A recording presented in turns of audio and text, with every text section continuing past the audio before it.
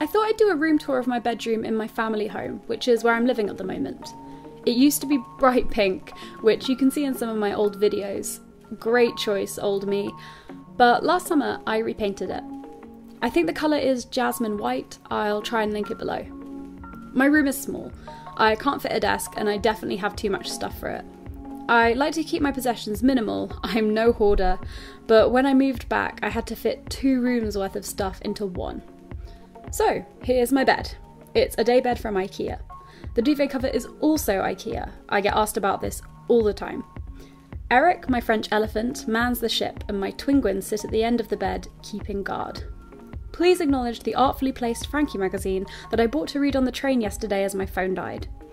I have fairy lights all around the bed, which looks amazing at night, and above my bed are some little postcards and photos.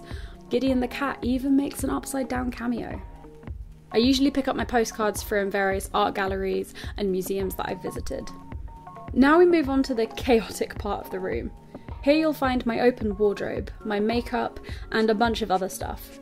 At the top is a shelf with my memory box and my old university work. This is my hanging rail, where I keep all of the clothes you usually hang. Predictably, everything is in neutral colours.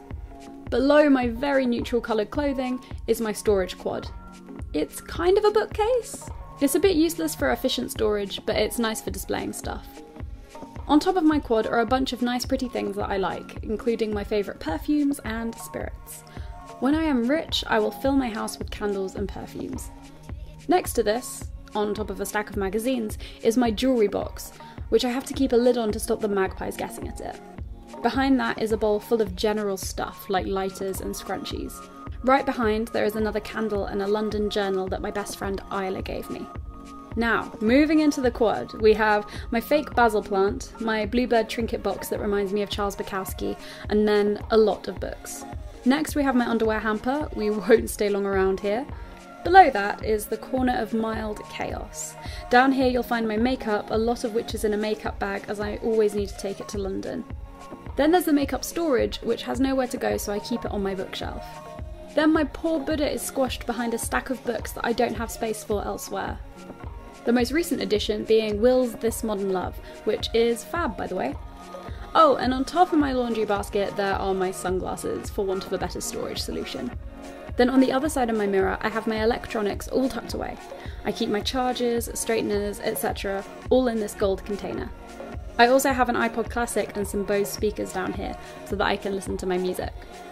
Underneath my bed is my box full of secrets, otherwise known as my box full of stuff I don't know what to do with. Then there's my box of hair care slash skincare products, and finally, my filming equipment. Also, I have this cute world map bunting across one wall. You've probably seen it in my vegan video.